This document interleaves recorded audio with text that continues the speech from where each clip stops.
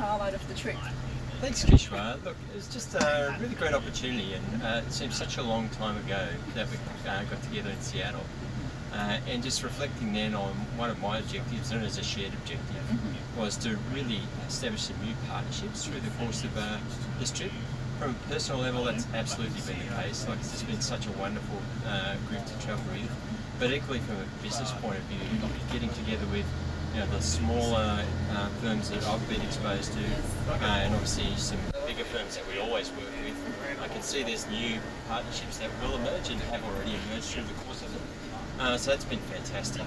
And then um, in terms of places we went to, uh, I have to say some of the highlights were uh, where we saw the startups in action. And. I couldn't go past uh, our good Aussie friends, uh, the guys from Hump, uh, who we met at the SkyDeck. Just loved the way they showed up. Um, real confidence, still kept their Australian authenticity and sense of humour. Uh, but doing something really groundbreaking uh, with a lot of courage, clearly perseverance, uh, and with a clear objective in mind. I really loved that. Yeah, no, I agree. They were a bit of highlight of the trip. Yeah. No, thank you, Ruben. for- thanks, Kishwa. insight. Yeah, thank you.